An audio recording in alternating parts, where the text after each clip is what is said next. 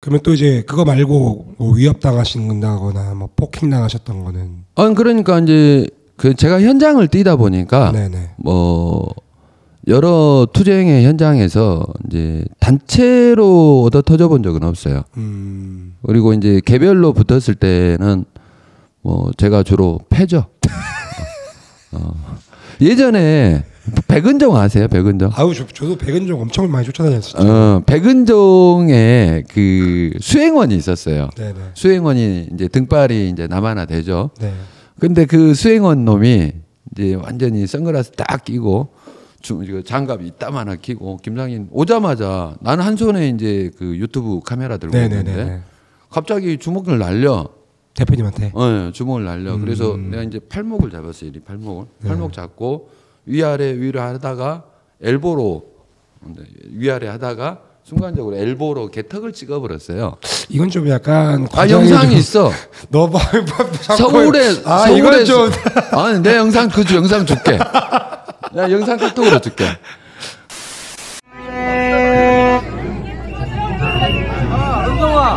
오랜만이야.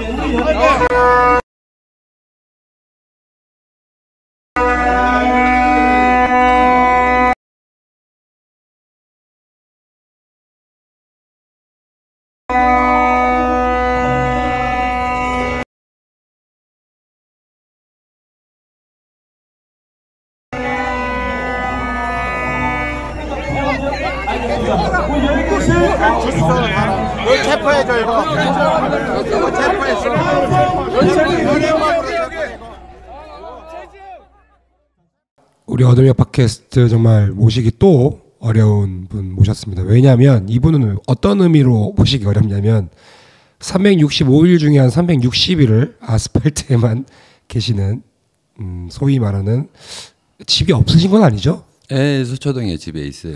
집이 있음에도 불구하고 이제 밖에 워낙 많이 계시는 아스팔트의 전설 김상진 신자유연대 대표님 모셨습니다. 네, 반갑습니다. 네. 1번 카메라 보시고 네, 반갑습니다. 네. 인사가 그게 끝인가요? 아, 그러면 원래 하던 대로 할까요? 네, 한번 해봐, 해봐 주시죠. 충성. 반갑습니다. 군인이세요?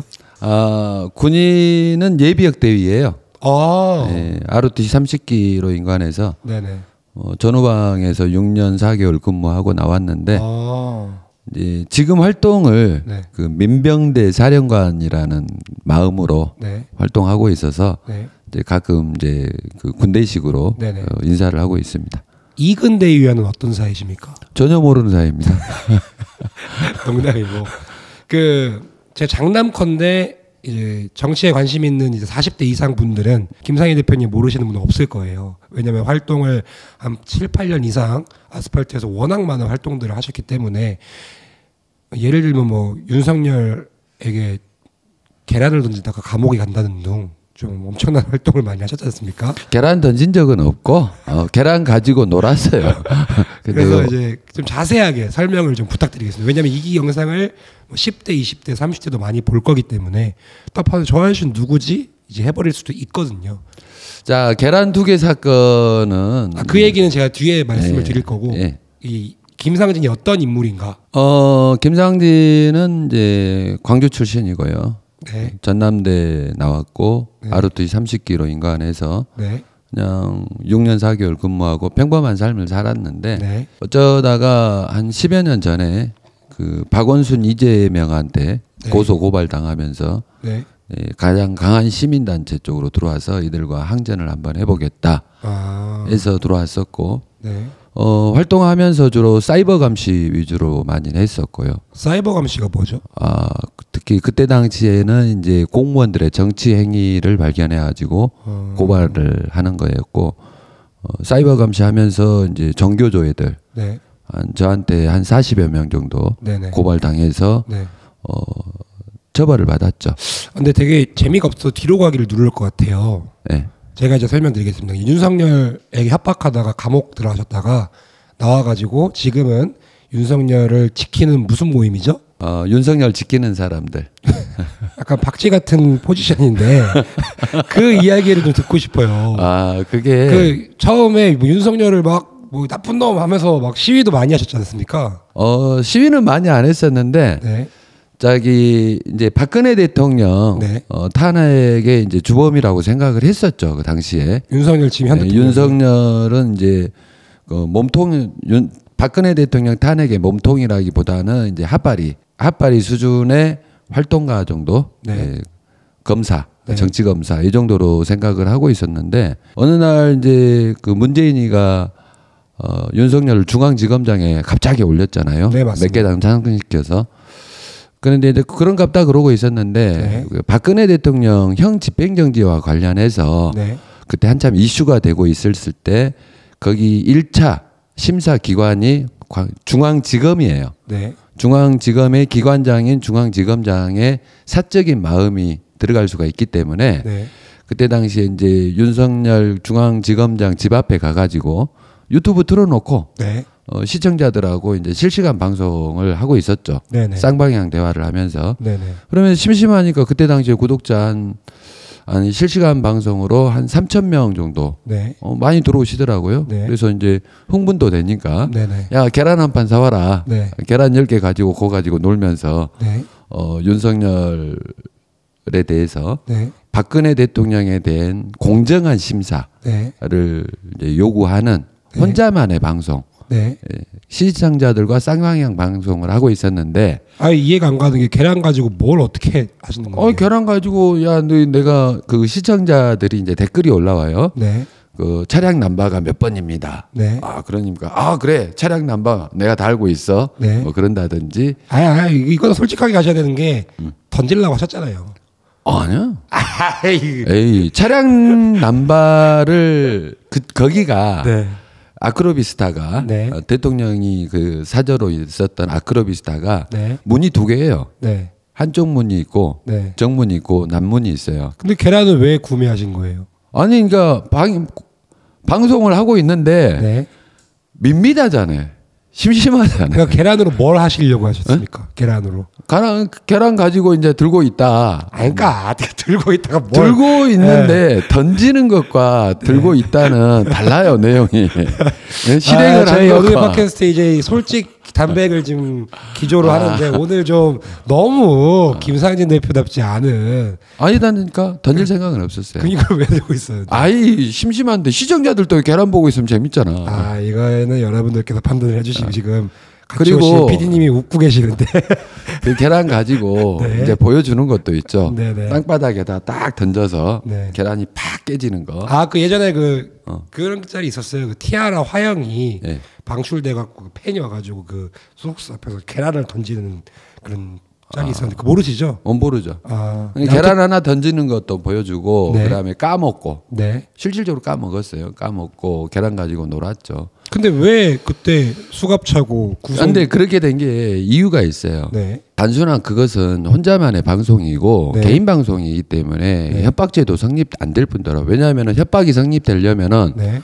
그러니까 처음부터 말씀해서 윤석열 중앙지검장을 협박에 했, 협박을 했다로 깜빵인데 네. 협박의 성립 조건이 일단은 사건이 고지가 돼야 돼요. 네. 내가 윤석열 중앙지검장한테 협박을 해야 돼. 네. 그 윤석열 지검장이 그걸 받아들이고 놀래고 겁을 먹어야 돼요. 네. 그래서 업무를 방해 당해야 돼. 아. 근데 그 요건이 하나도 충족되지가 않아요. 일단은 윤석열 검찰 중앙지검장이 내 방송을 안 봤어. 네. 계란 들고 있는지도 몰라. 네. 그렇기 때문에 성립이 안 돼요.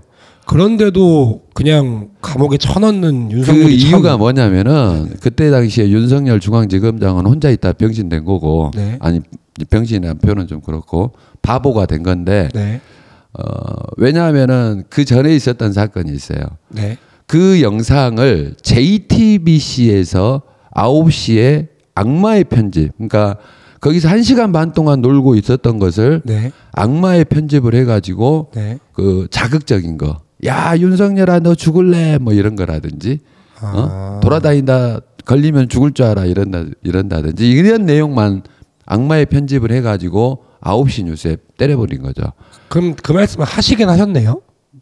그렇죠. 1시간 반 동안 방송을 하는데 이 말도 하고 저 말도 하지. 네. 근데 뭐가- 뭐가- JTBC에서 왜 악마의 편집을 했느냐? 네. 그 전에 손석희 이번에 뭐 아웃됐던데 네. 손석희가 그 과천의 주차장 뺑소니 사건 아세요? 잘 모르겠습니다. 있어요. 그게 좀 검색해 보면 나와요. 네네. 그 손석희가 과천에서 야간에 이런 의혹이 있어요. 그게 뭔데요? 아니 과천 경마장에서 거기가 아, 이게 휴, 뭔데요 이게? 휴지가 많아 휴지가 아 말씀을 해주세요. 휴지가 많아 그 의혹이 이- 있어요. 이 게 뭐예요? 명예훼손 될 수가 있으니까. 팔씨름? 어, 그런 거 있어. 그래서 그 의혹으로 그 차, 차량이 그 과천 그 주차장에서 빨리 가다가 다른 차를 치고 도망가 버려요. 네. 그래서 그 과천의 뺑소니 사건이라 해서 언론에 무지하게 보도가 많이 됐고 네네. 저는 이제 그 언론의 보도 근거를 가지고 네. 어, 손석희 JTBC 사장 그 잘 나간다는 JTBC 사장을 고발했어요. 아. 그 고발한 이후로 JTBC에서 나에 대한 단독 보도만 30개를 꺼냈어요. 아 단독 보도가 단독 보도만 30개예요. 이게 공영 방송이 아니고 보복 방송이지. 에... 그 30개 보복 방송 중에 네. 하나가 그 JTBC에서 어, 윤석열 중앙지검장 집 앞에서 계란 가지고 놀던 거. 네. 거기서 한 시간 반 동안 이야기했던 것 중에 악마의 편집 몇 개만 커트해 가지고 네. 9시 뉴스에 내보내 버린 거고 그 다음에 그 후로 무슨 짓거리 했냐면은 JTBC 기자가 법무부 장관 박상기 네. 당시에 문재인 정권의 법무부 장관이 박상기였는데 네. 박상기 쫓아다니면서 네. 장관님 이래도 되는 거예요? 그냥 아. 나 보실 겁니까? 네네네. 이 공권력에 대한 도전인데 네네. 그러니까 박상기가 뭐 알겠어요. 네네. 야, 그 조사시켜. 네. 해서 법무부 장관 수사지휘권이 발동된 거예요. 아. 법무부 장관 수사지휘권 아무나 발동 안 돼요. 네네네. 큰 뭐 조직범죄라든지 그죠, 그죠, 뭐 어마어마한 뭐 정치적 사건이라든지 네네네. 검찰총장이 다루기 어려운 네. 이런 것들을 지휘하는 게 검, 뭐 법무부 장관 수사지휘권인데 네네. 수사지휘권 발동을 한 거예요. 아. 그래서 법무부에서 네. 대검찰청으로 수사지휘가 내려가고 대검찰청에서 중앙지검으로 내려가고 중앙지검에서 형사오부로 내려가서 저에 대한 압수수색이 시작됐는데 네. 그 중간에 윤석열 중앙지검장이 한 건 하나도 없어요. 아. 그래서 바보가 됐다는 표현을 하는 거예요. 네네네. 윤석열 중앙지검장은 자기가 출근하는 길에 어떤 놈이 와갖고 자기 집 앞에서 유튜브를 했는데 자기는 본 적도 없어. 네. 근데 이게 요란해졌어. 네. 요란해졌는데 또 법무부 장관이 수사지휘권 발동해서 자기하고는 상- 결재하고는 상관없이 바로 수사지를 또 자기 직원들이 해. 네네네. 그러면서 온갖 욕설은 윤석열이가 다 먹은 거예요. 아. 그때 윤석열 중앙지검장이.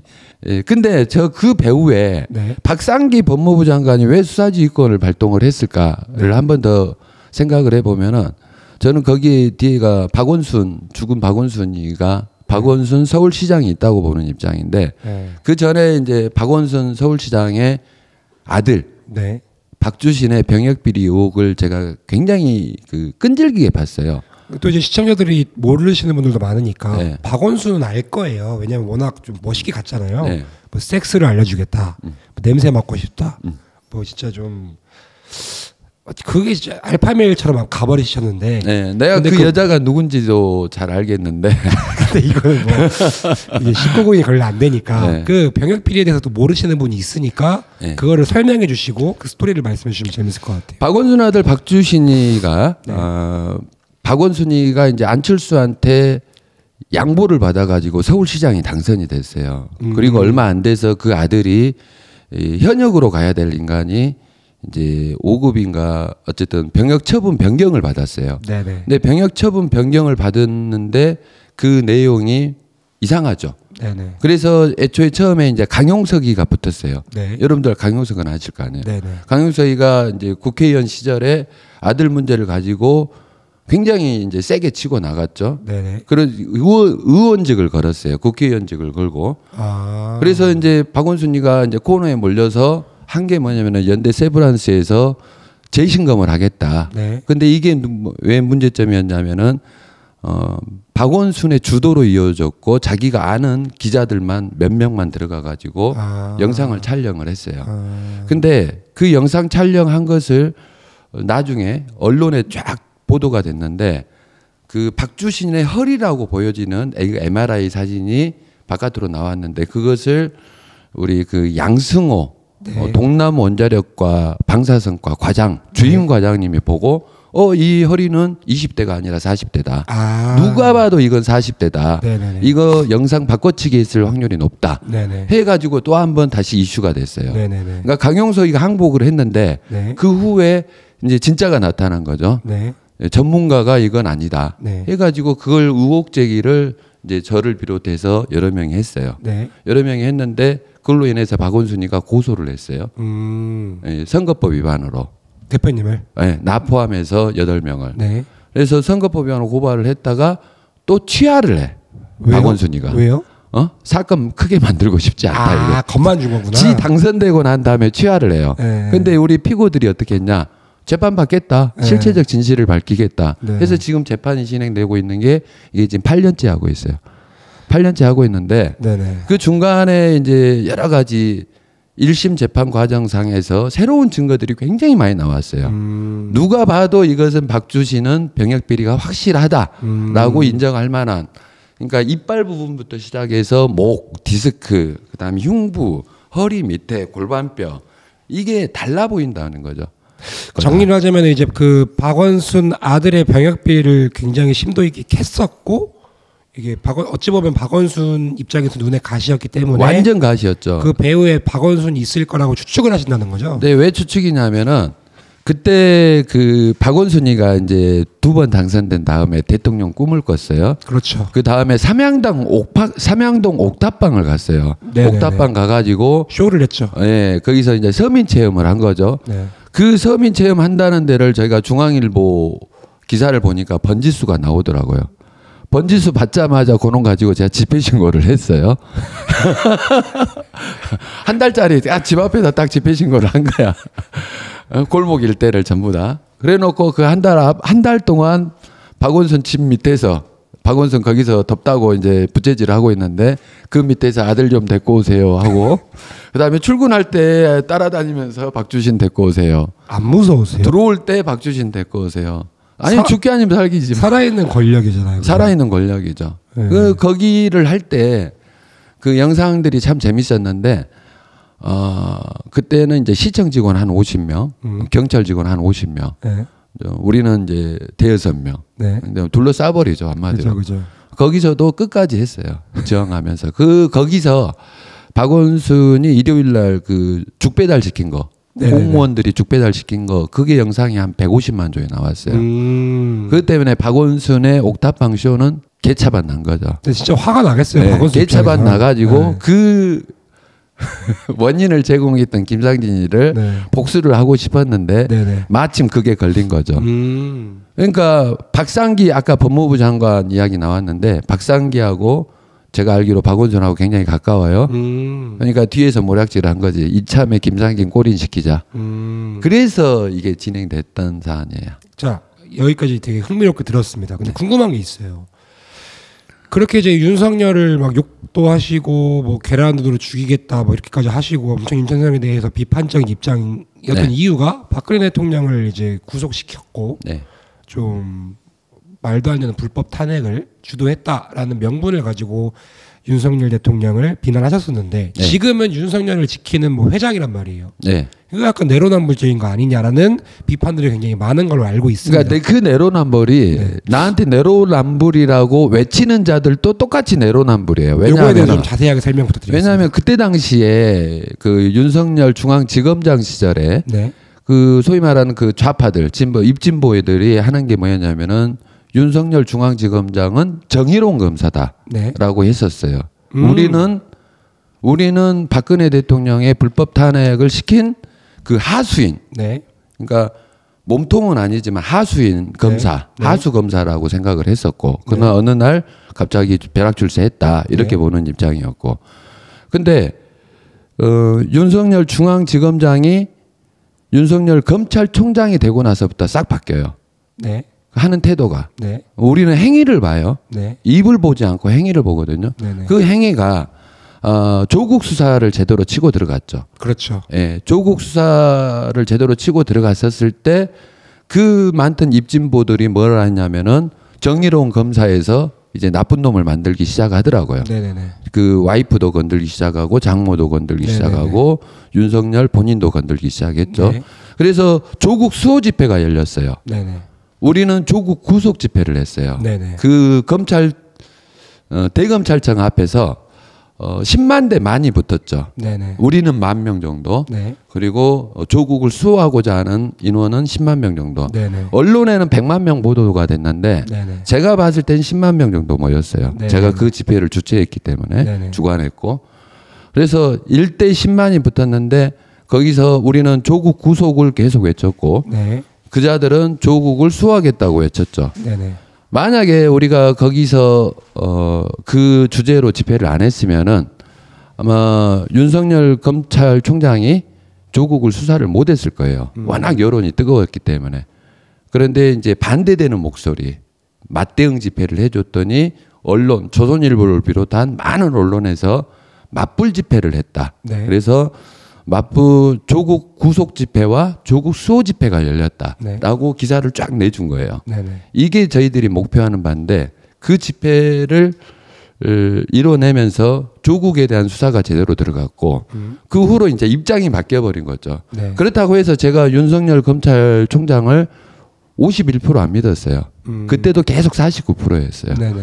근데 윤석열 검찰총장이 계속 이제 추미애랑 싸우고 여러 사건 가지고 싸웠는데 어 적극적으로 응원하게 된 계기는 뭐였냐면은 어 그때 지금 최강욱이라고 있죠. 최강욱 그렇죠. 지금 민정 비서관 시절에 네네. 걔가 민정 비서관일 때 대검 부장 회의를 하는데 네. 대검 부장 회의면은 누가 참석하냐면은 검찰총장 네. 밑에 지검장급 부장들이에요. 네네. 굉장히 검사장급, 굉장히 제일 센 최고 의결 기구인데 거기서 최강욱 기소를 결정을 해요. 음. 그날부터 제가 이제 윤석열을 응원했죠. 왜냐하면은 최강욱은 민정수석 밑에 민정비서관이에요. 네.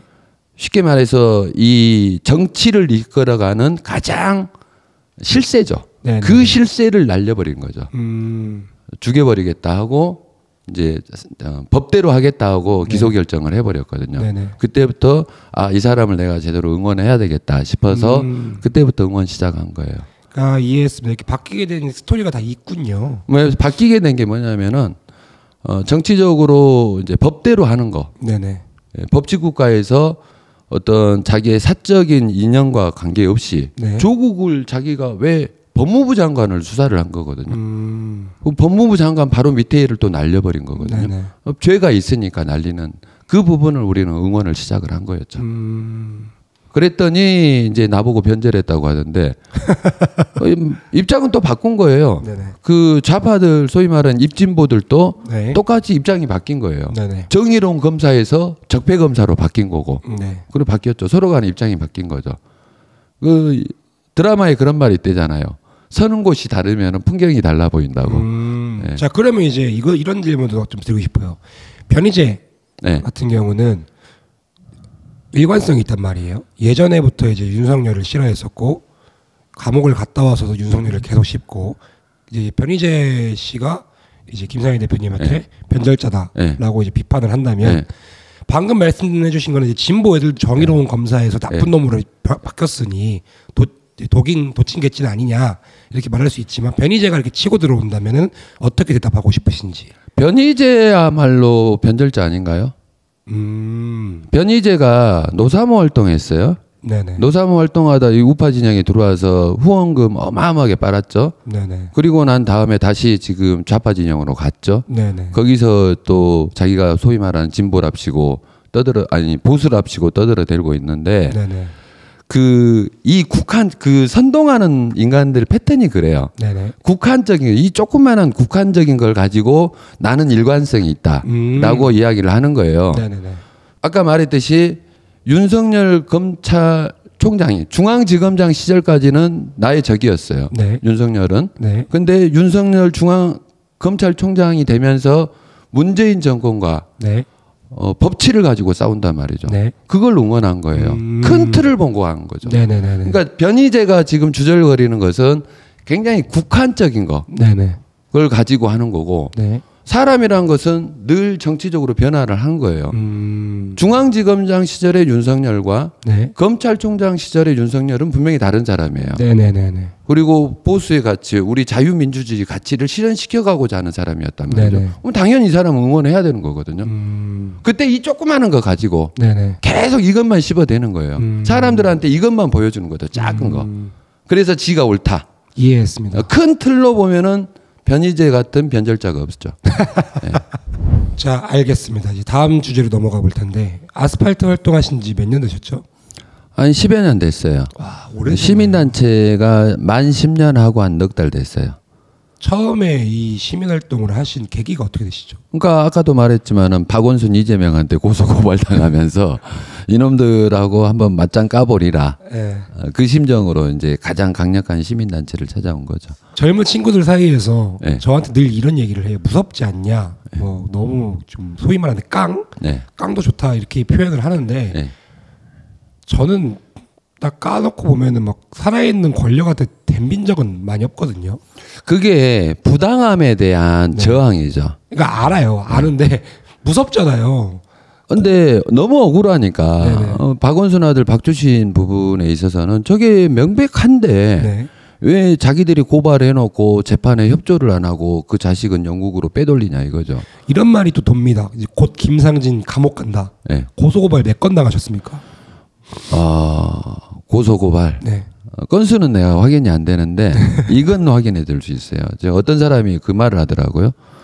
어, 제가 고발한 거, 고소 고발한 거, 그 다음에 내가 고소 고발 당한 거 네. 합쳐서 한 300건 돼요.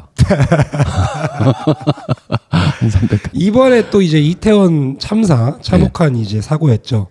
그 이태원 참사에 대해서 맞불 시위도 엄청나게 많이 하셨었는데 네. 언론에서는 엄청 또 쓰레기화 네. 소위 말하는 이제 2차 가해자. 예, 2차 가해자의 그 유가족들의 슬픔을 이해하지 못하고 네. 극우 유튜버적인 또 이제 본인의 수익을 위해서 네. 막 난동을 피웠다 이런 또 프레임이 있단 말이에요. 그거에 대해서 좀 자세하게 듣고 싶습니다.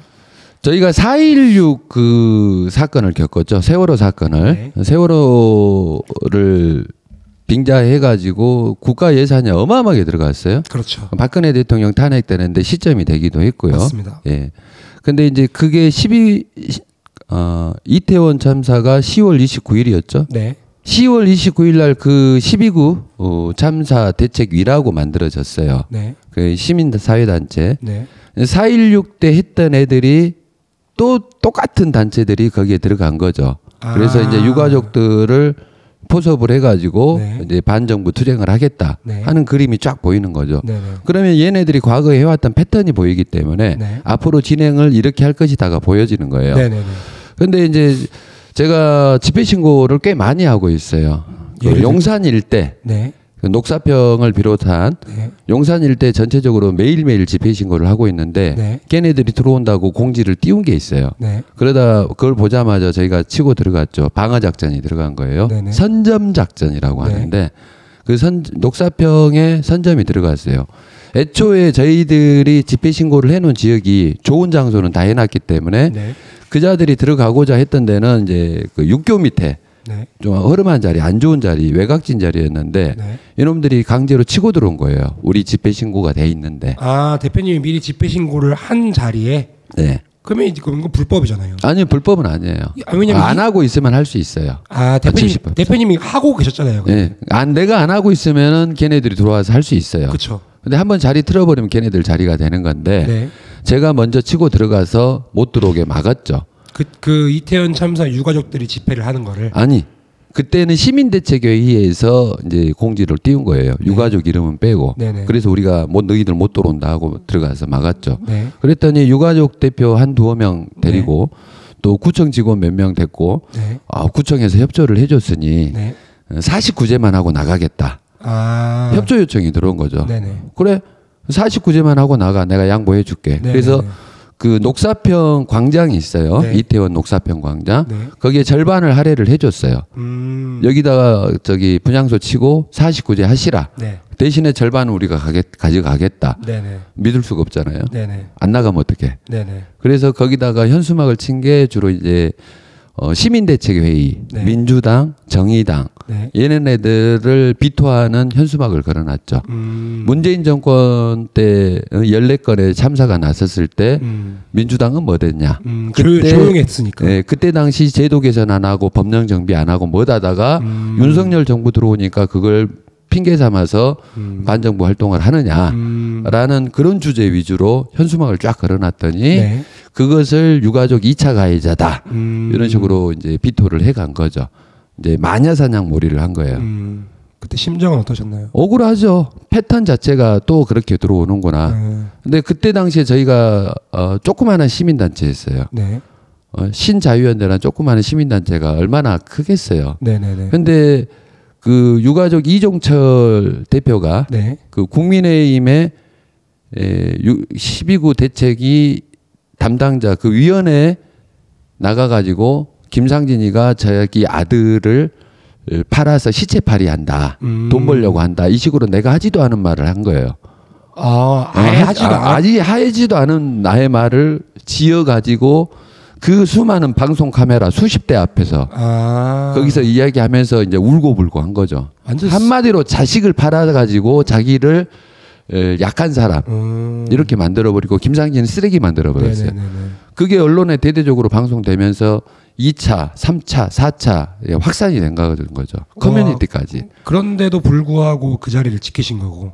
예. 그래서 국민의힘이 그때 이제 그 유가족들의 뭐 국정감사를 하겠다. 뭐 네. 이런 식으로 돌아가선 거예요. 음. 그리고 국민의힘도 또 김상진이를 내쫓아달라. 음. 라고 또 그냥 그 쉽게 말해서 강물에 빠진 사람 꺼내줬더니 보따리 내로라고 김상진을 그 장소에서 쫓아내달라. 국민의힘에서요? 예, 예. 아니, 국민의힘 국회의원들한테 아, 네네네네. 어, 저 우리를 쫓아내달라. 네. 이런 거예요. 거기다 텐트 다 치겠다 이거죠. 음. 근데 국민의힘도 우리한테 전화 한 통화도 온 적도 없을 뿐더러 음. 국민의힘도 우리 편이 아니었고 어, 제도권의 민주당, 정의당, 그 다음에 언론사의 MBC, KBS, 뭐 오마이뉴스 수많은 놈들이 우리가 이제 2차 가해다 낙인 찍기 작업을 한 거죠. 음. 그리고 대형 유튜버들 중에서도. 음. 하지만 우리가 법적으로 전혀 문제가 될거 없거든요. 음. 선순위 단체가 집회를 진행하고 있기 때문에 법적으로 문제될 게 하나도 없었어요. 아, 근데 이제 우리가 부족한 게 인력이었죠. 네네. 인력이 현수막을 쳐놓고 24시간 집회 체제예요. 네. 24시간 그 텐트 안에서 집회 장소에서 대기를 해야 돼요. 네. 최소 두 명 이상이. 근데 나중에 이제 그 거기 현수막을 관할하는 데가 용산구청인데 구청장이 우리 현수막을 뜯어가려고 유가족들한테 압박을 받아가지고 유가족 편이 돼가지고 그러니까 구청도 우리 편이 아니었죠. 음. 그 수많은 두 달 동안 우리가 지켰는데 어 마, 마지막에는 유가족들이 우리 보고 적금 금지 가처분 신청을 했어요. 대한 변협이 유가족들의 법률 대리인으로 들어왔거든요. 그래서 우리는 저는 이제 변호사 한 명 선임을 해가지고 싸웠죠. 그래서 민사 재판이 됐는데 우리가 완파 완전히 이겨버렸어요. 그죠. 이제 뭐, 예. 변호사비를 유가족들이 다 내놔라. 음. 어? 기가 간다. 기가 결정 딱 때리고. 그러니까 이제 유가족들이 항소를 했어요. 네. 즉시 항소를. 네. 그래 놓고 그 다음에 그 항소도 철회했어요. 네네.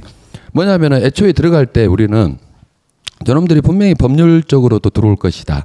그러니까 우리가 걔네들한테 2차 가해하는 모습을 절대 보이지 말아라. 네. 라고 이제 저희 이제 직원들이나 조직원들한테 이야기를 했고 저놈들이 우리한테 가해하는 모습들을 다 치증을 한 거예요. 음. 머리를 쓴 거죠. 그래서 재판에서 만방에 만방적으로 깨졌는데 유가족들이 그 재판 결과 나오기 이틀 전에 네. 녹사평역에서 시청, 시청 으로 도망가 버렸어요. 음. 나는 도망갔다는 표현을 쓰는데 철수를 한 거죠. 네. 장소를 옮겨 버렸죠. 네. 왜? 재판 결과 나오면은 저기들이 개쪽 당하거든요. 음. 그래서 법률적으로도 이기고 어, 법적으로도 이기고 그래서 그 녹사평 일, 광장 일대를 지켰고 만약에 거기를 지금 안 지켰으면은 지금도 시청 앞에 텐트 많이 쳐놨어요. 네. 그 텐트 촌이 됐을 거예요. 근데 요, 용산 그 자리가 네. 용산의 심장부 같은 데거든요. 네네. 대통령 관저에서 불과 2km밖에 안 돼요. 네. 그리고 대통령 집무실에서 불과 500m밖에 안 돼요. 네네. 만약에 거기를 우리가 뚫렸으면은 거기는 반정부 활동의 기지가 됐을 거예요. 음, 예. 그래서 거기를 지켜낸 것이 그 윤석열 정권 지지율 안정화에 저희가 많이 기여를 했다라고 자평하고 있습니다. 근데 사실 이렇게 어떻게 보면은 아무나 할 수 있는 일이 아니지 않습니까? 네. 이 수많은 음해를 받으시고 네. 어떻게 보면은 멘탈적으로도 힘드실 거고 아 멘탈 힘들죠. 저 재정적으로도 힘드실 거고 유튜브도 채널도 엄청나게 많이 깨지시지 않습니까? 거기서도 또 여러 번 깨졌어요. 그럼 이제 공격이 들어오니까. 소위 말하면은 뭐 이런 표현이 맞는지 모르겠지만 아무도 알아주지 않는데 개고생을 한단 말이에요. 네. 이렇게까지 하시는 이유는 뭡니까? 우리 진영의 승리를 위해서 하는 거죠. 윤석열 정부가 안정화가 돼야 네. 자유민주주의 체제가 지켜지는 거예요. 어떻게 한 자리 받기로 약속이 된 겁니까? 전화 통화한 적도 없고 차 한 잔 먹어본 적도 없어요. 이렇게까지 하시는 이유가 뭐예요? 역할이라는 게 있어요. 예. 그러니까 윤석열 대통령이 대통령으로서 할 일이 있고 네. 나는 시민단체 단체장으로서 시민단체 할 일이 있거든요. 네. 그 역할을 제가 찾아서 하는 건데 이 정치 사회 시민 단체를 이끌어 가다 보면은 눈에 보여요. 음, 이 국면에서 우리가 무엇을 해야 되겠다가 음, 보이는 건데 특히 우리가 전략적으로 용산 대통령실 주변 일대를 집회 무풍지대, 네. 예, 참, 어, 집회가 없는 지역으로 만들기 위한 작전을 하고 있어요. 지금도 하고 있고요. 그럼 이제 그 얘기를 좀 들어보겠습니다. 지금 그러면 용산을 지킨다는 그런 명분 하에 네. 그 계속 수호 작전이라는 집회를 하고 계시, 계시지 않습니까? 예. 몇 차까지 하셨나요? 지금 현재 그 대통령을 끌어내리자 하는 세력들과는 150차 맞불 집회를 했고 그다음에 용산 봉쇄 작전으로는 70차 대신에 녹사평 제외하고 70차. 그러면 말도 안 되는 숫자거든요, 사실. 그게 1년 반 동안 한 그거에 대해 좀 거예요. 1년 자세하게 말씀해 주세요. 이게 어떤 의미가 있고 예. 어떤 장소에서 지금 어떻게 수호를 하고 계시며 이렇게 좀 하시는 의의에 대해서 저희가 어찌 보면은 이제 새로운 집회 방식을 만들어내는 게 맞대응 집회예요. 네. 맞불 집회라고 하죠. 그렇죠. 맞대응 집회인데 어 시발점이 가장 컸던 데가 언제였냐면은 조국 수호 집회에 대한 조국 구속 집회. 네네. 그러니까 가장 큰그 맞불 집회였는데 그 집회를 제가 이제 주도해서 이끌어 가 보니까 효과가 굉장히 커요. 음, 한쪽만 집회를 해버리면 대중들이 한쪽만 그쪽 목소리만 나오는 목소리가 거죠. 들으니까. 예. 한쪽에서 나와서 한쪽 목소리만 하면은 대중들은 거기에 쏠리는 거고 특히 어 지금 현재 그 좌편향된 언론들은 그것만 보도를 해요. 네네네. 뭐 국민들은 거기에 호도가 되고 그렇죠. 쓸려갈 수밖에 없고 어 사회 전체가 그쪽으로 흐름으로 갈 수밖에 없죠. 네네네. 근데 맞대응 집회가 있음으로 통해서 양쪽의 목소리를 국민들한테 듣게끔 하는데 음. 그 의의가 있는 것이고 음. 맞대응 집회를 해봤더니 정말 효과가 커요. 네네. 그래서 어 작년 3월 26일 날 윤석열 대통령이 이제 당선이 되고 그렇죠. 좌파들의 3월 26일 날 집회가 시작했어요. 음. 그 집회가 무슨 집회였냐면은 윤석열 취임 못하게 하자. 대선 불복 세력들이었거든요. 이거는 민주주의 체제를 그냥 거부하는 거랑 지금 그 촛불 집회를 이끌어가는 세력 중에 상당수가 국가보안법 위반자들이 그 집회를 주도하고 있어요. 아, 민주 시민이라는 탈을 쓰고 예, 국가보안법 위반자들이에요. 음. 그리고 조선일보 등에 보면은 어, 그, 그 자들이 북한에서 지금 지령을 내리고 있다. 음. 어, 그 지령 받고 움직이죠. 문구 하나까지도 네네네. 윤석열 탄핵을 한 때 그 주제 하나까지도 현수막 문구가 지령으로 내려와요. 음. 예, 그런 것을 움직이는 애들이에요. 그 애들과 이제 3월 26일부터 맞대응 집회를 150차 차례를 지금 하고 있고 음. 1년 8개월 동안 그리고 이제 작년 10월 달에 이재명이가 이제 행동하라라고 말을 한 적이 있어요. 뭘 무슨 말이죠? 아스팔트에서 행동하라. 아 이재명이 직접 예, 행동을 해야 된다. 음. 그 이후로 어, 초창기 때 걔네들 집회가 1000명 이하짜리였는데 네. 그 이후로 2,000명, 3,000명이 되던 되면서 이재명의 선거 조직이 움직였어요. 음. 그게 다 보도가 된 것도 있는데 선거 조직이 움직이면- 움직이면서 작년 10월 22일 날 약 2만 명 정도가 윤석열을 끌어내리겠다고 용산 대통령실로 몰려온 바가 있어요. 아. 그때부터 용산 봉쇄 작전이 시작이 됐는데 우리는 그때 당시에 다 끌어 모았을 때 3,500명이 모였어요. 그 맞불 예, 맞불 네, 집회를. 네, 네. 그래서 용산 일대에서 어 걔네들이 들어오는 것을 우리가 앞에서 막은 거죠. 네.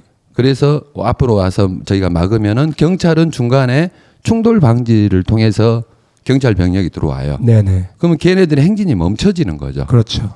대통령 집무실에서 약 2km 전방에서. 네네네. 그러면 걔네들은 대통령실도 못 봐요. 네. 못 보고 그 다음에 걔네들은 집회 끝나고 빠꾸를 해요. 네. 예, 전라도 사투리로 빠꾸 뒤로 네. 돌아가는 거죠. 네네네.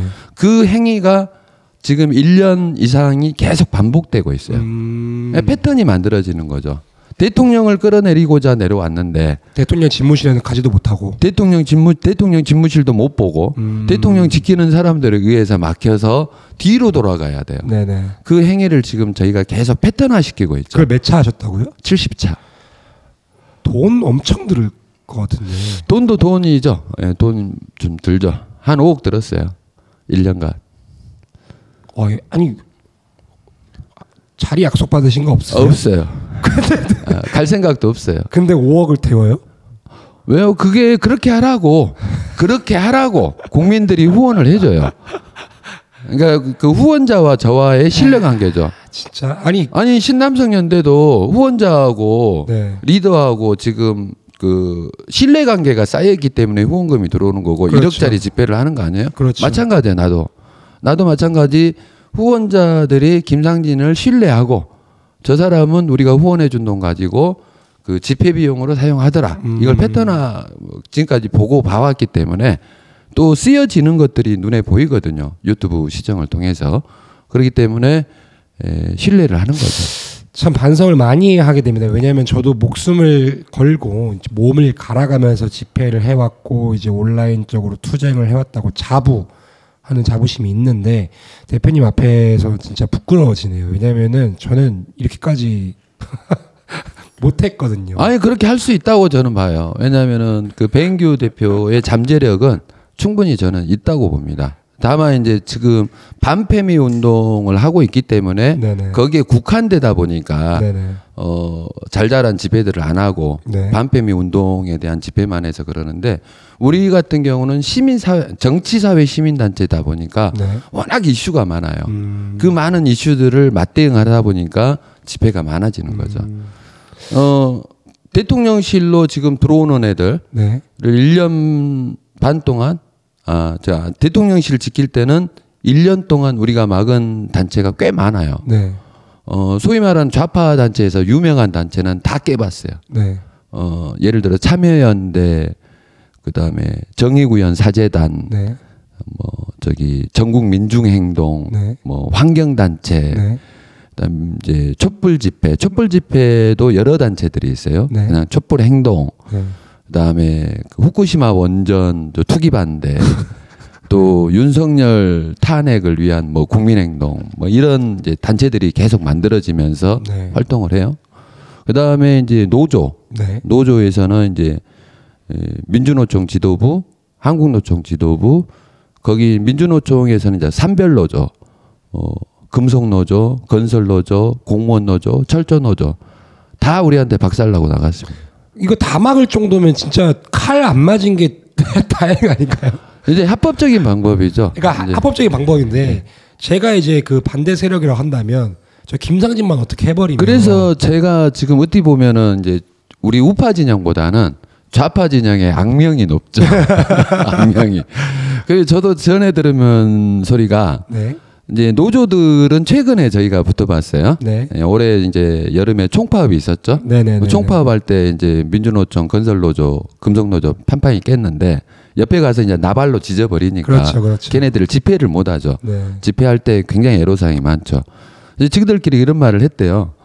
아 김상진이라고 알아? 어, 알아. 그 새끼 광주놈이라던데. 아니 광주놈이 그럴 수가 있어? 그 후루과 아니야? 와 지나갔던 놈 아니야? 아니요. 그 놈이 초등학교 때부터 대학교까지 다 나왔대. 아 대학도 전 그 네, 네, 전남대. 전남대. 출신이시죠? 다 나왔대. 그래? 어떻게 그런 놈이 있을 수가 있어? 하면서 저기들끼리 이제 술 먹으면서 그런 말을 한다고 하더라고요. 그러니까- 실제로 집회하면서 위협당해 보신 적은 없으신가요? 많죠. 그러니까, 그러니까 저번에 왜 한번 저 민주노총 들어가서 얻어 터졌잖아요. 아, 전 자도 저, 저도 자도 얻어 터져. 예, 나도 비슷한 싸움을 많이 해요. 근데 얻어 터지진 않아. 얻어 터지진 않고 네. 이제 저 주로 패죠. 아 패시는구나. 아, 저는 그때 억울한 적이 또 뭐 있었냐면 저는 5.18 그 유공자 단체 네. 한 20명한테 진짜 개 두들겨 맞았거든요. 네. 근데 맞으면서 무슨 생각했냐면 그래, 아 그때 광주에서 네, 맞아요. 내가 그때 가서 맞았잖아. 맞아요. 광주에서 내가 집회 신고하러 갔었을 맞아요. 때. 저 진짜 농담이 아니고 진짜 모든 걸 걸고 경찰서 그 정문 앞에서 한 20명을 두들겨 맞으면서 무슨 생각을 했냐면은 네. 됐다. 이제 이거 보도 나가면은 네. 얘네 폭력성을 입증할 수 있다. 근데 거기에 CCTV가 없더라고요. 많이 맞아봤는데. 그것도 있는데 네. 도대체 이해가 안 가는 게 네. 그 5.18 이야기하면 안 되는데. 안 돼, 안 돼, 안 돼. 어, 방송상에서 하면 안 되는데. 어쨌든 경찰서 안에 들어와 가지고 네. 그렇게 폭력 행사를 하는데도 경찰이 맞아요. 손 놓고 있어요. 맞아요. 법 위에 있는 그런 네, 법이요, 무법이요, 무법. 네네네. 거의 법 위에서 군림한다고 봐야죠. 그러면 또 이제 그거 말고 뭐 위협 당하신다거나 뭐 폭행 당하셨던 거는 아, 그러니까 이제 그 제가 현장을 뛰다 보니까 네네. 뭐 여러 투쟁의 현장에서 이제 단체로 얻어 터져 본 적은 없어요. 음. 그리고 이제 개별로 붙었을 때는 뭐 제가 주로 패죠. 어.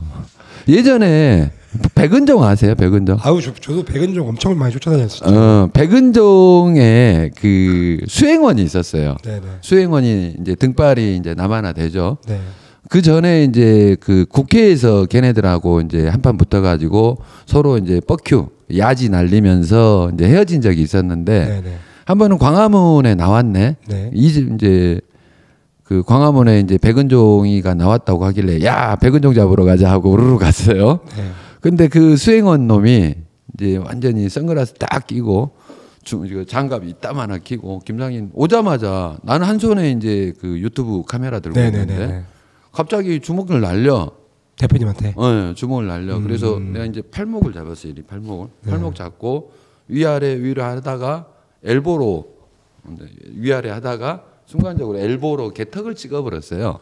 이건 좀 약간 아 영상이 좀- 있어. 너 봐. 서울에 아 서울에 이건 좀 아니 내 영상 그 주- 영상 줄게. 나 영상 카톡으로 줄게. 은동아 오랜만이야. 뭘체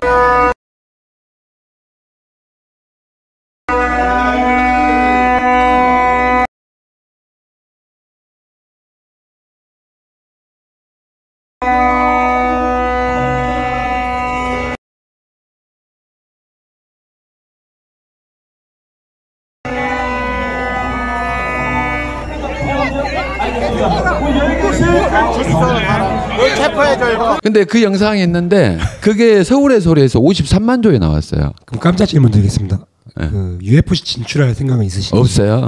아이 나이 먹고 어딜 가.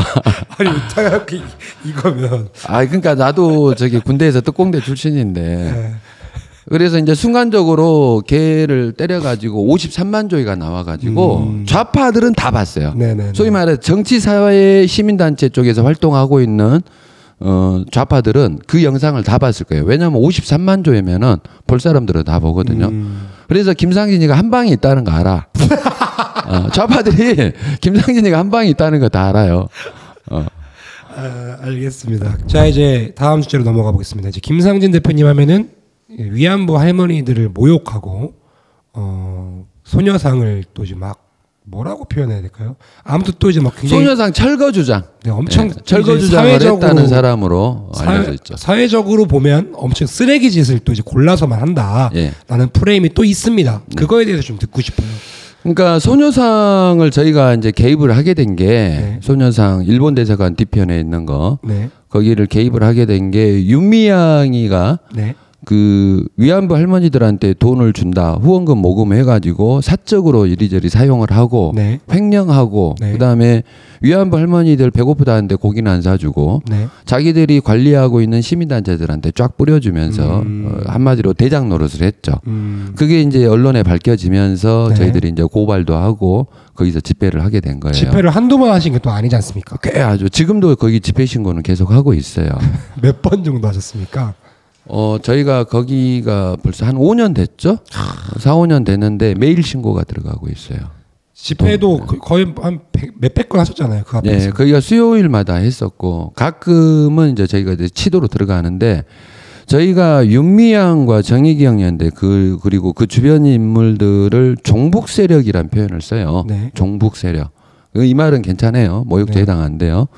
종북 세력이란 표현을 쓰는데 그기가 엄청나게 단단해요. 음. 집시법으로도 해결이 안 돼요. 맞아요. 그- 저희가 집회 선순위 단체인데도 불구하고 네.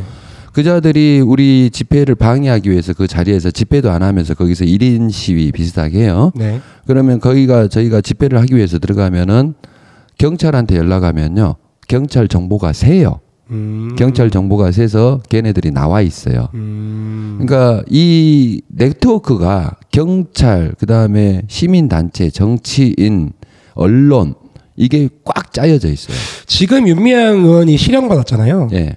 그래서 이제 지금에야 뭐 많은 대중들이 아 이게 잘못됐구나라는 인식이 있겠지만 그때 투쟁했을 당시가 제 기억으로는 4년 전인데 그때는 완전 인간 쓰레기 이하 취급을 받으셨어요. 그러니까 저희가 거기서 주제를 세 가지 주제를 잡고 있는데 하나는 위안부 할머니들한테 받은 돈 다 돌려줘라. 네, 그다음 윤미향 그 정의롭지 않은 정의 기억연대 해체하라. 네.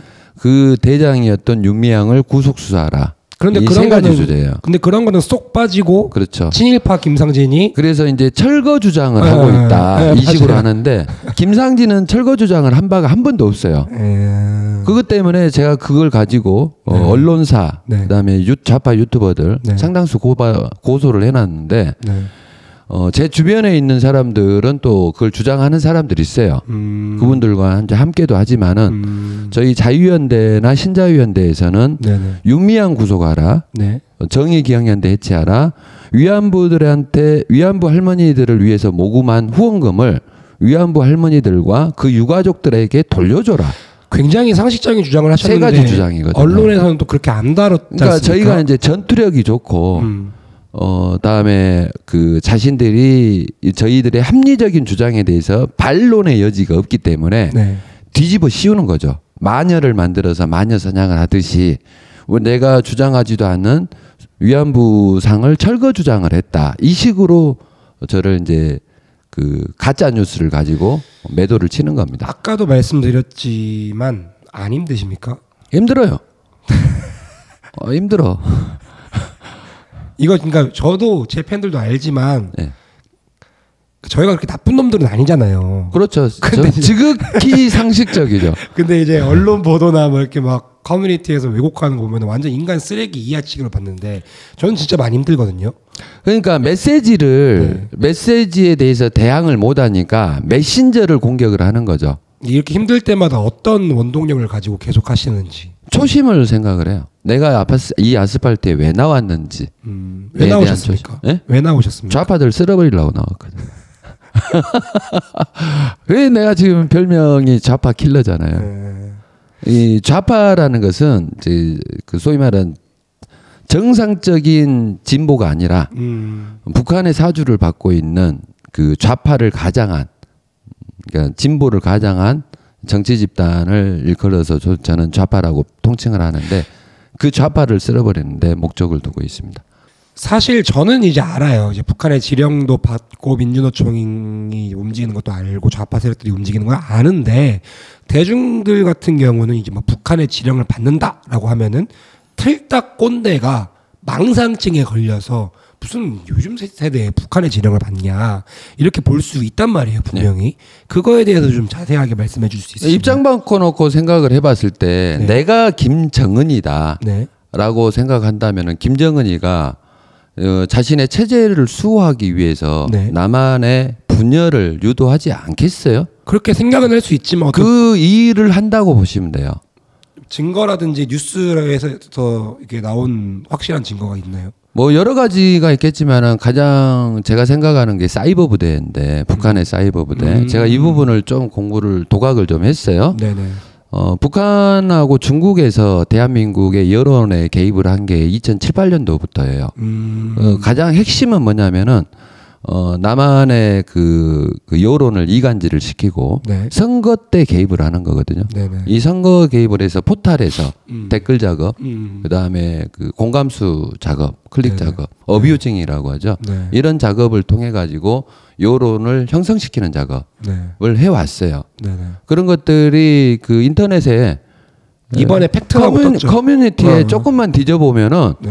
뭐 조선족들 말들을 쓰는 것들이 많이 나타나는데 지금은 이 얘네들이 약 15년, 20년이 돼가고 있기 때문에 그 선수들이 한국말 잘해요. 맞아요. 지금은 더 안 나타나요. 근데 이게 100%, 100% 팩트인 게 뭐냐면 얘네들이 선수가 돼가지고 아주 잘해요. 제가 이제 인터넷 댓글 같은 경우는 저희 남사원들가 꽉 잡고 있거든요. 예를 들어서 추천이 뭐 5천 개가 찍혀 있는 말도 안 되는 주장을 하고 있는 베스트 댓글이 있으면 저희가 좌표를 찍으면 그걸 뒤집습니다. 근데 한창 이제 대선 기간 동안에 저희가 못 뒤집었던 댓글이 다음 포털 댓글이었어요. 네. 다음도 웬만하면 다 이제 뒤집는데 아니 아무리 뭔 짓을 해도 못 뒤집더라고요. 5천 개가 찍혀 있어서 7천 개를 찍으면 어느 순간 보면 만 개가 찍혀 있고 만 개를 또 찍어요. 우리가 만 천 개를 또 찍으면 또 2만 개로 올라가 버려서 이건 도대체 뭘까? 정황만 있었죠. 근데 이번에 한국과 중국 축구 대결을 했습니다. 그렇죠. 근데 다음은 한국 사이트잖아요. 네. 근데 중국 응원 그 중국 응원 댓글이라고 하나? 그 중국 응원 그 체크하는 게 한국인보다 높게 나와 버린 거예요. 2천 대 200만이었다던가. 맞아요. 네. 그렇기 때문에 진짜로 대표님 말씀하신 게 어떤 소위 말하는 틀딱의 망상이 아니라 정말 이거는 이제 오피셜로 많은 댓글 부대들이 들어와 있고 많은 이제 여론을 호도하는 그런 종북 세력 그리고 북한 뭐 중국 이런 애들이 엄청나게 많이 있는 건 팩트입니다. 그게 그 저는 이렇게 보고 있어요. 어, 북한 사이버 부대만 움직이는 게 아니라 네네. 중국에서 어, 초안전이라고 그래요. 네네. 초안전 총력전을 하는 건데 어, 중국의 정부 자와, 자산과 네. 민간 자산이 같이 움직이는 거예요. 네네. 그래서 이 여기에 댓글 부대라든지 이런 것들에 대한 지원 지원이 인적 자원, 자금 지원 이게 좀 되고 있다고 보였는데 제 예전에는 북한 사이버 부대 활동이 더 많았다고 보면은 지금은 이제 중국 쪽이 더 많지 않겠냐 라고 저는 보고 있어요. 맞아요. 왜냐하면 또 이제 걔네들 단체만 해도 몇 천 개고 그 맨날 하는 것들 보면은 어떻게 유튜브를 통해서 수입을 얻는 것도 아닐 테고 물론 뭐 세금을 쳐받는 부분도 있겠지만 그 많은 자금이 어디서 나올까에 대한 궁금증도 늘 있었거든요. 그런 부분에 대해서 어떻게 생각하시는지. 그러니까 입장 바꿔놓고 생각하면 돼요. 북한의 김, 김정은이라면은 가만히 있겠냔 말이에요. 음, 김, 내가 김정은인데 네. 남한 사회가 이렇게 단합이 되고 자유민주주의체로 돼가지고 그 나라가 국력이 세지면은 자기들이 위협하는 거 아니야. 자기 생존이 위협을 받는 거예요. 음. 네네네. 어떻게든지 분열시키기 위한 책동을 해야 돼요. 음, 그게 이제 자기들이 많이 쓰는 게 사이버 부대. 네네. 북한의 사이버 부대는 최고 인력이에요. 네네. 우리나라도 마찬가지지만은 최고급 인력들을 데려다 놓고 네. 어 이제 하이 퀄러티적인 해킹 등을 해서 돈 많이 벌고 있잖아요. 네네. 그다음에 좀 하등적인 댓글 부대 이런 것들을 운용을 하는 것은 기본 원칙이에요. 음, 그 선거의 개입은 북한, 중국뿐만 아니라 러시아도 마찬가지 미국 선거에 개입하는 거 아시죠? 아 그럼요. 개입해요. 음. 그러니까 이 사이버전은 어, 국가 대 국가 간에 증거가 잘 안 남기 때문에 네. 이 진행을 하고 있는 거고 그게 현실적으로 우리 포털에서 우리들이 가끔 목격을 하고 있죠. 음, 그건 당연히 진행되는 거고 그리고 내가 김정은인데 남한 내에서 고정간첩 안 키우겠어요? 음, 키우죠. 미 이건 김일성 때부터 시작을 해온 거예요. 네네. 사법부의 좌편향 판사 올라갈 때부터 걔네들 너희들은 공부만 해라 데모하러 나오지 마라 키운 거예요. 음, 그그 자원들이 지금 대한민국의 결, 의사 결정권을 가진 곳곳에 지금 그네들이 포진하고 있는 거죠. 근데 이런 얘기를 할 때마다 음모론 취급받는 게 참 마음이 아픕니다, 사실. 직접 현장에서 떠보면 알잖아요. 진짜 알잖아요. 예. 아, 아니 그 댓글을 쓰는 놈도 그놈도 간장이라니까. 자 알겠습니다. 그 이제 거의 한 1 시간 반 이상을 이야기를 했는데 이것도 듣고 싶어요. 오랫동안 이렇게 활동을 해 오시면서 가장 힘들었던 때는 언제인지. 어 소위 말해서 제가 활동하는 거 좌파들과의 현장 투쟁은 재밌어요. 음. 몸이 좀 힘들어서 그러지. 어 예를 들어서 이재명 전에 그 개항 선거 할 때 16박 17일을 개항 선거구에 나가가지고 스타렉스에서 잠을 자면서 음. 16박 17일을 거기를 지켰어요. 네. 그러면 몸이 많이 피곤하죠. 그리고 좌파들하고 순간순간 계속 투쟁을 언변 투쟁을 해야 되니까. 근데 그런 것들은 힘이 안 드는데 이 시민단체 10년 활동하면서 내 편인 줄 알고 음. 같이 활동했는 사람들로부터의 예, 배반, 비토 이런 것들은 참 힘들더라고요. 인간적으로. 실제로 이 아스팔트 바닥이라고 하죠. 네. 거기서 이제 많이 소위 말하는 왕따를 당하고 계시잖아요. 아니요, 왕따 안 당해요. 그래요? 예. 왕따 안 당해요. 나를 좋아하는 사람이 얼마나 많은데. 예. 저는 왕따거든요. 왕따? 아, 내가 있는데 왜 왕따? 아무튼 그 그때가 제일 힘드셨고 좀 그러면 그거 제외하고는 좀 할만하다라고 좀. 네, 할만해요. 할만하고 어, 또 함께하는 사람들, 이게 저희 뜻을 지금 뭐 어떤 분은 10년째 지켜보시는 분도 계시고 어떤 분은 이제 이제 알아서 1년 됐다, 한 달 됐다 하시는 분들도 있는데 그런 분들이 저희 활동 사항들을 쭉 보시면서 음. 신뢰할 만하다. 그리고 또 그래서 후원하고 싶다 해서 이제 그 지원을 해주고 계시는데 어 그리고 수많은 댓글들 응원의 댓글들이 많아요. 제거 김상진 TV에 보게 되면은 영상마다 댓글들이 참 좋아요. 음. 네, 그런 데서 힘이 많이 나는 거죠. 자 다음 질문입니다. 그 1대 130그 일화가 있는데 네. 그거 한번 들려주시죠. 그러니까 저희가 이제 용산 봉쇄 작전을 지금까지 쭉 해왔어요. 네네. 근데 주로 이제 시민단체, 종교단체, 노동단체들하고 싸웠죠. 네. 그 이야기를 했었는데, 근데 이제 제도권에서 들어왔어요. 무슨 말씀이시죠? 그러니까 민주당에서 들어온 거죠. 아. 후쿠시마 원전수 투기 반대 해가지고 이재명이가 네. 이제 행진을 들어온 거예요. 이재명이요. 예, 이재명과 민주당 국회의원들 그리고 각종 시민단체 네네네. 한 7천 명이 들어왔죠. 네. 근데 우리가 선순위 집회로 딱 봉쇄를 했어요. 네. 근데 원래 경찰이 거기 이상 못 들어오게 하는데 국회의원들이 워낙 빼기 좋다 보니까 이재명이 왔는데. 이재명이가 왔는데 그것도 국회의원들 떼거리로 몰고 왔는데 네. 용산 대통령실로 가는 길을 터준 거예요. 아. 기자회견 하러 가겠다고.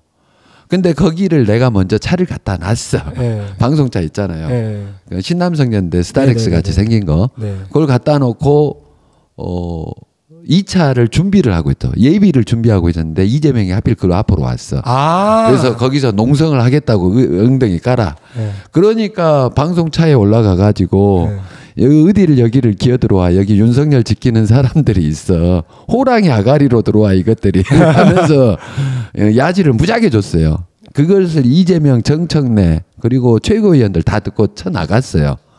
나갔다는 게 돌아간 거예요? 돌아갔죠. 도망갔죠. 무섭지 않으셨습니까? 아니 쪽팔려서 도망간 거예요. 아니, 무섭지 않으셨어요? 나? 네. 아이 무서운 게 어디 있어요? 내가 대장인데 거짓말 탐지기 갖고 집회 선순위 단체 단체장인데. 거짓말 탐지기 테스트를 해보겠습니다. 아니 나 내가 이재명이 때- 앞에 있는데 안 무서웠다. 아 이재명이 나만 나타나면 도망간다니까. 아이, 저 내가 이재명하고 드럼통이 안 무서우신 거예요? 10년을 싸웠어. 이재명이가 나한테 고소 고발 당한 것만 10건이 넘어요. 이재명이 아 이재명을 고발하신 게. 네. 이재명이 못된 짓한거 많아요. 아. 세상에 안 드러나서 그렇지. 아. 근데 이재명이가 김상진의 집요함을 알아요. 음. 저 새끼는 건들지 말자. 아. 그 김사랑 씨 말고도 김사랑 씨는 많이 당했는데 네. 나는 반격을 하는 사람이거든요. 음. 나는 반드시 반격을 해요. 네. 이재명이 나한테 당한 게 많다 보니까 이재명이 김상진 뜨면은 도망을 가요. 특히 음. 이재명이는 예전에 나를 신상털이 지시를 했어요. 아 트위터 시절에 트위터 많이 하던 아, 지금 이거, 이거 이제 음- 유튜브 시절, 시절인데 음, 뭐 음모론 아니에요? 아니 아니 김상진 올려놓고 이 사람에 대한 신상 저한테 알려주세요라고 까발렸는 거예요. 직접? 예. 찌제명이 직접? 예. 오. 트, 트위터에다 내 얼굴을 올렸어. 이제 아, 야, 어? 그러니까 그 후로 제거뭐 아르투시 보고 광주놈이고 뭐 전남대 나왔고 하는데 핸드폰 번호까지 이재명한테 노출을 시켜주더라고. 와, 이게 뭐- 개인정보법 위반이죠. 라고 내가 고발을 한 적이 있고. 근데 다행히 그 새끼가 빼기 좋아가지고 처벌을 안 받았지만은 어. 그 후로 내가 이재명 만나기만 하면은 야 너 나 신상털이 한 거 지시한 거 사과해. 이걸 내가 10년 동안 써먹고 있어요. 계속 써먹거든. 아, 근데 어찌 보면 영광인데요. 이재명이 아니, 직접 트위터에 올릴 정도면. 그렇죠. 그때 당시에 저 트위터 할 때도 굉장히 좀 세게 했죠. 어. 예, RT도 많이 하고 리트윗도 많이 하면서 어쨌든 이재명이가 나이가 나타나면 도망가요. 네. 지금도 마찬가지고. 네네네. 근데 이재명이한테 이재명이가 김상진이가 거의 지키고 있는지를 모르고 들어온 것 같아. 그래서 음. 이번 한 번은 치고 나갔어. 도망을 갔어. 네.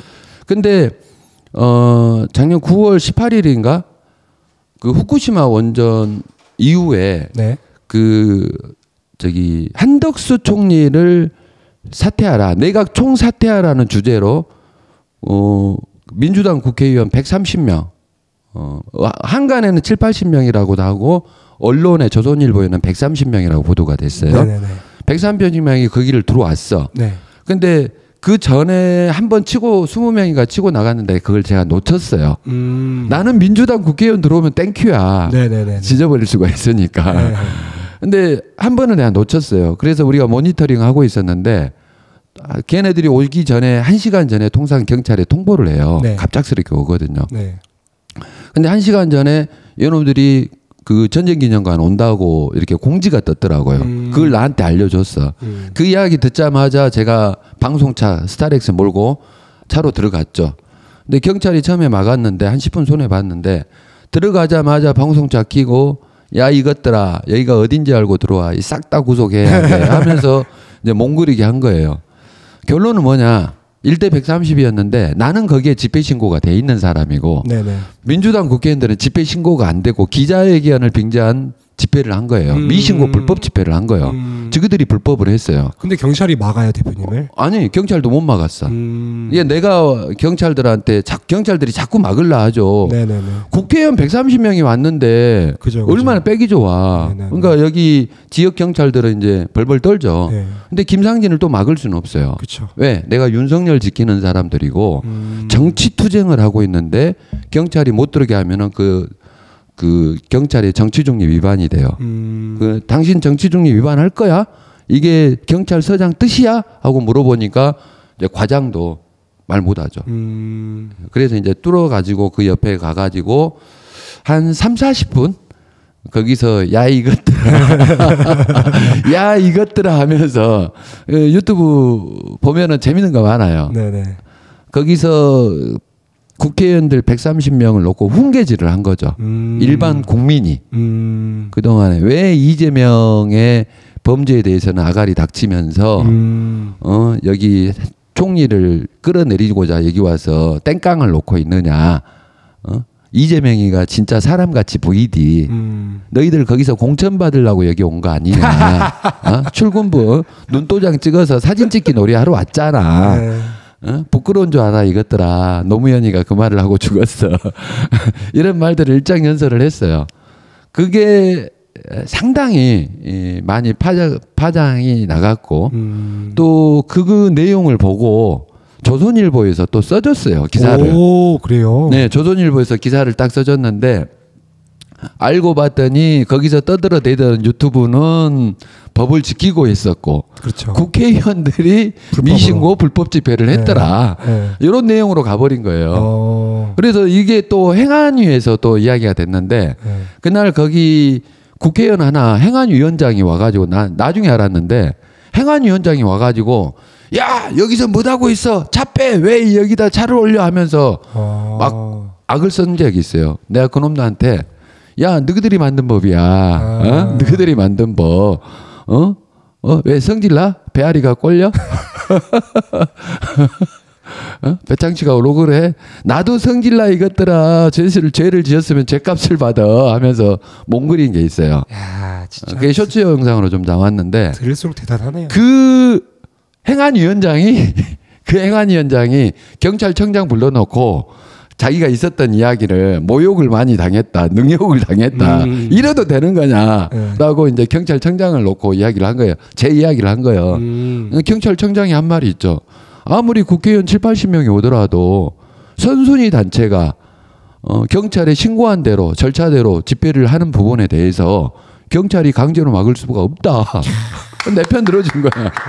멋있으십니다. 예, 그렇게 해가지고 깨갱한 게 있는데 어쨌든 그 대통령실 지키면서 참 재밌는 스토리가 많이 있었습니다. 음. 자 이제 이제 곧 종료 시간이 다가오는데 마지막으로 꼭 이건 내가 어필하고 싶다, 꼭 하- 얘기하고 싶다라는 게 있으면 말씀해 주시기 바랍니다. 제가 이제 그 아스팔트 활동을 하면서 네. 어 이제 느껴진 것이 이제 10년이 되다 보니까 네네. 제가 이제 각성을 해요. 각성? 각성. 네, 아까 깨우치는 그- 거죠. 이거 엘보 같은 그런 건가요? 아니 그런 거 말고 생각에 생각을. 좀 더 정리하고 정돈하고 나아갈 방향성에 대해서 음. 좀더 깊이 심사숙고를 하면서 내가 지금 하는 행위가 무엇인지 네네. 이런 것들을 보는 거죠. 예, 지금 10년간의 활동 사항을 내가 생각을 해봤더니 아 우리가 지금 이념 투쟁을 하고 있는데 이게 여론 전쟁이구나. 음. 여론 전쟁인데 그 중에서 우리가 노출 전쟁을 하고 있구나. 노출 전쟁이 우리? 우리 주장을 노출시키는 주장. 음. 그러니까 우리가 지금 SNS 플랫폼을 이용해 가지고 여러 가지로 노출하잖아요. 네네네. 페이스북, 인스타그램, 유튜브, 그다음에 카톡 이런 것들을 사용하면서 내가 활동한 것을 노출시켜요. 근데 이 노- 이게 진짜 노출 전쟁이더라고요. 그렇죠. 곰곰이 생각해 봤더니. 그렇죠. 근데 지금 제가 아스팔트에서 활동하는 사안은 어찌 보면은 전체 여론전의 일부예요. 음. 아스팔트란 곳에서 우리 주장을 세상에 펼치기 위한 하나의 목소리. 이제 어떻게 보면은 몸부림이죠. 우리의 목소리를 세상에 세상에서 들어주세요 하면서 네네. 외치는 거고. 근데 이제 저희가 이 일을 진행하면서 제가 또 그 과거에 어, 네이버 뉴스 편집 자문위원을 했어요. 네이버 본사 들어가 가지고 네. 네이버 뉴스의 배열, 그다음 배치, 댓글의 문제점. 그래서 어, 이런 말들을 하잖아요. 어, 댓글에 국적 표시하라. 아, 네네네네. 그 주장을 네이버에 들어가서 제가 했던 사람이에요. 아, 그리고 이제 네이버의 이제 뉴스 제휴평가위원회 문제점을 어찌 보면 최초로 국민의힘, 그러니까 자유한국당 시절에 문제가 많다. 네. 그래서 뉴스 총량에서 우리가 너무 딸린다. 음. 라는 문제점을 지적을 하고 공론화시키는 작업을 또 제가 했었는데 음. 그래서 제가 깨우친 게 그거예요. 어, 어, 아스팔트 활동에서 시간이 좀 남아요. 네. 그래서 여론전에서 핵심이 네. 언론이더라고요. 음. 우리 활동하는 사안 예를 들어서 백규 대표가 신남성연대 활동을 했는데 네. 언론에서 얼마나 부각시켜 주던가요? 아니 쓰레기 만들기. 철저하게 아니 외면시키거나 나쁜 것만 찾아가지고 그렇죠. 보도를 하잖아요. 그래서 저도 마찬가지예요. 내가 너무나 십자포화를 마녀로 만들어 가지고 십자포화를 너무 많이 맞았어요. 네네. 항변을 조선 조중동에서 안 해줘요. 음 맞아 안 해줘. 안 해줘. 우파 안 해줘. 진영의 인터넷 언론사도 안 해줘 안 해줘. 직원 수가 부족해. 예. 그래서 아 우리 지금 언론을 좀 키워야 되겠다 라는 생각을 하게 됐고, 음. 근데 이제 가짜 뉴스를 이제 공중파, KBS, MBC, YTN 이런 데는 정부에서 잡을 수 있을 거라고 봐요. 음. 인사를 통해 가지고. 사장을 바꾸고 네네. 공정하게 해라. 네네네. 어? 편향적으로 하지 말고 친정부적으로 하지 말고 공정하게 해라라고 분명히 바꿀 건데 네. 건들 수 없는 게 하나가 있어요. 인터넷 언론사예요. 음. 인터넷 언론사는 전부 다 주식회사로 돼 있고 네. 정부로부터 규제를 안 받아요. 음. 그리고 우리나라 헌법에 언론의 자유가 보장돼 있기 때문에 지그들 마음대로 가짜 뉴스를 쓰더라도 나중에 이제 그 법적 대응을 하면 되는 거거든요. 네네. 그 동안에 어떤 사람들은 마녀 사냥을 당하고 있어야 돼요. 네네. 그걸 해결하기 위해서 제가 오마이뉴스를 겨냥을 해서 서울 미디어 뉴스라는 언론사를 만들었어요. 아. 그래서 지금 네이버 다음에 검색 제휴를 하기 위해서 네네. 저 네이버 다음 검색 제휴 심사 평가 자료가 있는데 네네. 거기에 300% 정도의 기사량을 맞추고 있어요. 와. 그래서 다음에 지금 뉴스 제휴평가위원회가 멈춰 있는데 네네. 다음에 이제 법어 저기 법제화 한다는 말도 있어요. 네네. 어쨌든 다음에 심사를 할 때 우리가 무조건 네이버 다음에 검색 제휴에 합격을 해서 우리의 목소리를 우리의 활동하는 아스팔트 활동하는 내용들도 어, 취재를 해서 세상에 띄워서 우리의 목소리를 세상에 알리겠다. 음, 그걸 주제로 해서 지금 그 방향성으로 지금 저의 역량의 일부를 지금 사용을 하고 있습니다. 참 이 나라에 없어서는 안 될 그런 제가 감히 이런 단어를 써서 죄송합니다만 없어서는 안 되는 인물이십니다.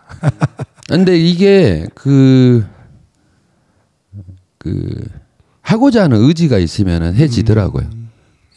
알겠습니다. 자, 지금까지 신자유연대 그리고 아스팔트의 legend of legend 김상진 대표님이셨습니다. 여러분들께서 많이 관심 가져주시고 정말 이 말씀 드리고 싶어요. 저는 저는 조금만 해도 많이 부각이 됩니다. 근데 대표님은 많이 해도 일부분밖에 부각이 안 돼요. 그래서 여러분들이 어, 우리 김상진 TV 많이 구독해 주시고 페이스북에서도 김상진 많이 검색해 주시고 방금 말씀하신 이 인터넷 언론사도 많은 관심을 가져 주신다면 어, 여러분들이 못하는 그리고 저, 저, 저조차도 못하는 여러 가지 이 수많은 애국 활동들에 도움이 될 터이니 여러분들이 조그마한 관심 부탁드리겠습니다. 오늘 나와주셔서 진심으로 감사드립니다, 대표님. 네, 감사합니다. 고맙습니다. 네.